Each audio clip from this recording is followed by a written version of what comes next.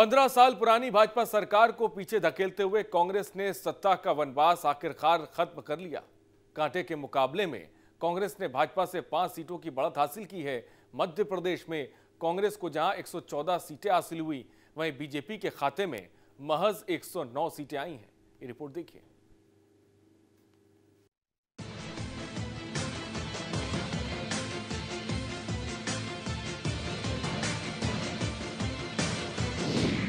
सपा बसपा के ऐलान के बाद शिवराज का इस्तीफा।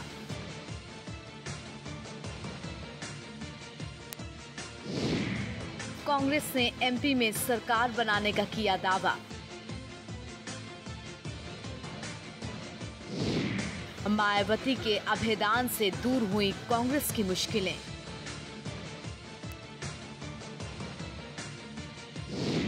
अब की बार एमपी में कांग्रेस राज।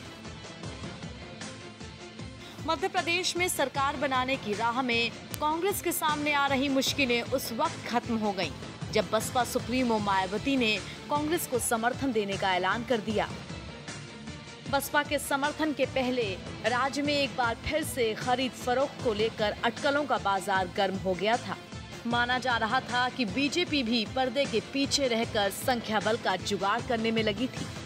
लेकिन मायावती के इस बयान ने बीजेपी की रही सही उम्मीदों को भी धराशायी कर दिया। मुझे ये भी मालूम हुआ है कि मध्य प्रदेश में अभी भी ये पार्टी यहाँ सत्ता में आने के लिए पूरे जोड़ तोड़ में लगी हुई है, जिसे रोकने के लिए हमारी पार्टी ने कांग्रेस पार्टी की सोच व नीतियों से सहमति न जताते हुए भी यहाँ यहाँ मध्य प्रदेश में अपनी पार्टी का कांग्रेस पार्टी को सरकार बनाने के लिए समर्थन देने का फैसला लिया। पहले गिनाई कांग्रेस की गलतियाँ।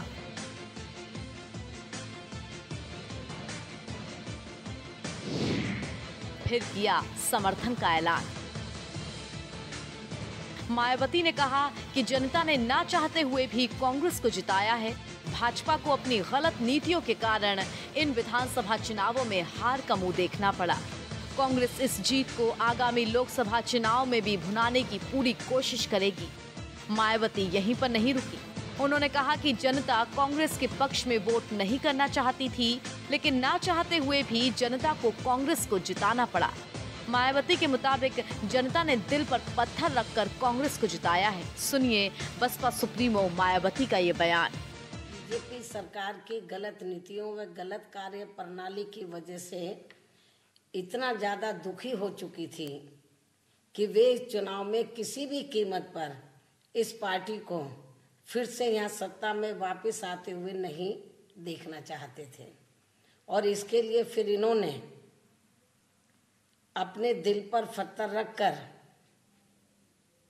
यानी कि यहाँ की जो जनता है, और इसके लिए फिर इन तीनों राज्यों की जनता ने अपने दिल पर पत्थर रखकर नहीं चाहते हुए भी यहाँ पूर्व में काफ़ी वर्षों तक सत्ता में रही कांग्रेस पार्टी को ही अपना मज़बूत विकल्प समझकर फिर अधिकांश अपना वोट इसी पार्टी को ही सपा पहले ही कर चुकी है समर्थन का ऐलान।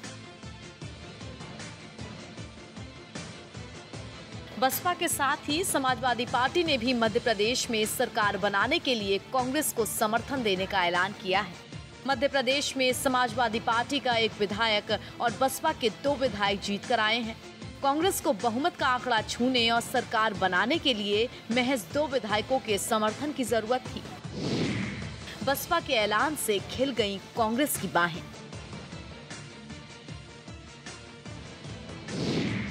मायावती के बयान के बाद राजभवन से आया बुलावा। बसपा सुप्रीमो के समर्थन के ऐलान से जहाँ दिल्ली से लेकर भोपाल तक कांग्रेसियों में खुशी की लहर छा गई, वहीं मायावती के बयान के बाद शिवराज सिंह चौहान ने भी राजभवन जाकर इस्तीफा दे दिया। राजभवन से आए बुलावे के बाद कांग्रेस ने सरकार बनाने का दावा भी पेश कर दिया। कांग्रेस को स्पष्ट बहुमत मिल चुकी है। ये मध्य प्रदेश के विकास की विकास यात्रा का एक नया इतिहास शुरू होने वाला है। और हमने राज्यपाल जी को पत्र लिखा है कि हमें आमंत्रित करें ताकि हम अपनी बहुमत उनको साबित कर पाए। आप सबका बहुत बहुत धन्यवाद। कांग्रेस पार्टी तीन राज्यों में मिली जीत से भले ही उत्साहित हो, लेकिन वो दो राज्यों, राजस्थान और मध्य प्रदेश में बहुमत का आंकड़ा नहीं छू पाई है। ऐसे में उसको किंग मेकर की ज़रूरत थी, जिसकी भूमिका मध्य प्रदेश में बसपा और सपा ने पूरी कर दी। हालाँकि यही गठजोड़ अगर तीनों ने पहले किया होता तो मध्य प्रदेश की तस्वीर कुछ और ही होती। Bureau report, national voice.